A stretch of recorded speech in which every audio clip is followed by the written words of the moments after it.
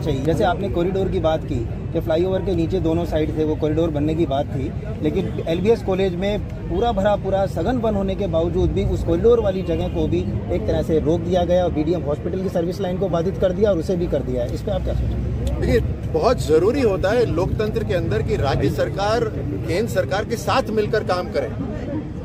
अगर दूसरी पार्टी की भी सरकार हो तो भी डबल इंजन काम कर सकती है अगर जनता की सेवा करनी हो। जी।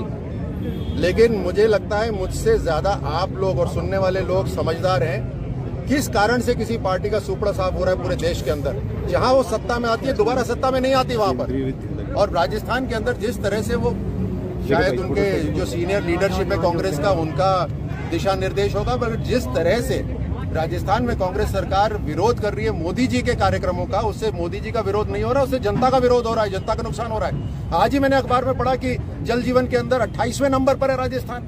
अरे कहा कंपटीशन में जहाँ जीतना चाहिए, वहाँ पीछे चल रहे हो, जनता का बहुत बड़ा नुकसान हो रहा है। तो इसमें बहुत ज़रूरी है कि राज्य सरकार, लोकतंत्र हमारा ऐसा है कि केंद्र सरकार के साथ मिलकर काम करे ताकि जनता को राहत मिले।